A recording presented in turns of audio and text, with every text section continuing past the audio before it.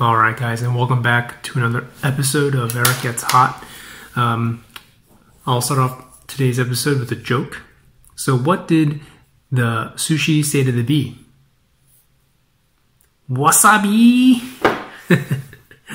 so, that's going to be uh, the thing I'm trying today. So, we had Japanese food for lunch, and my wife uh, got an extra um, portion of wasabi. She got quite a bit extra. So, um, I'll be eating that today, but I think eating wasabi straight up is just kind of nasty.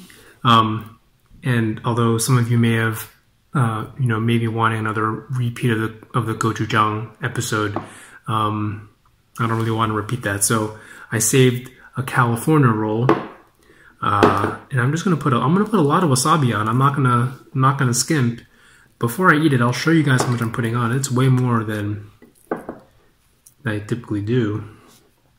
Um, now, wasabi is um, also called Japanese horseradish. Um, the the spiciness in wasabi is not oil based. It's it's more a, a water soluble chemical. So the effects of wasabi don't linger on the mouth like chili peppers do. But wasabi wasabi is a little different in that it the the, the vapors go up into your nose and um, you know if, if you ever have wasabi when you're sick, you know you often have that all that congestion all that congestion cleared up by the wasabi. So um, that's always fun.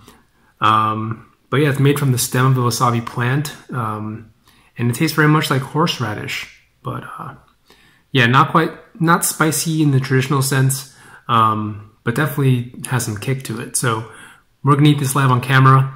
As you can see, that's a lot of wasabi there, and of course, I'm gonna use chopsticks. I'm gonna do this the proper way, and uh, we'll see how it goes. Okay, here we go.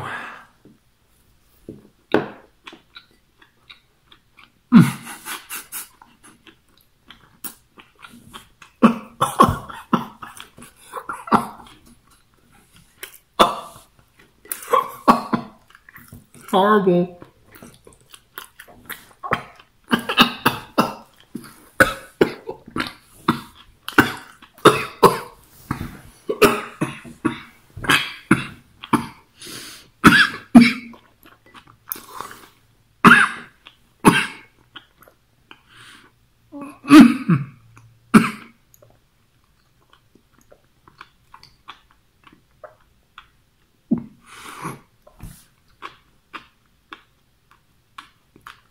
Guys, I almost spit it out.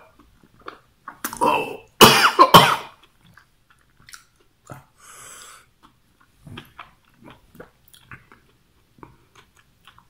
oh.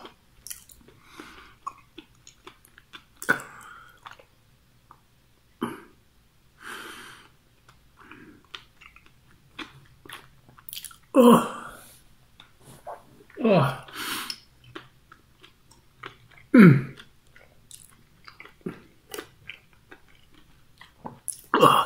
So most of it went straight up my nose. oh man. And yeah, it's not spicy, but it's nasty. Oh man. So my nose is runny now and um you might be able to see that I'm crying a little bit. Um uh, it was very unpleasant. I could barely taste the, California roll at all. but after the initial terror of having that in my mouth, uh, I, I also actually almost spit it out. I came really close to doing that on camera, but that would be uh, pretty horrible for you guys to watch, so I didn't. Uh, but uh, yeah, it, it passes pretty quickly. The spiciness is all gone by now. My nose is still running.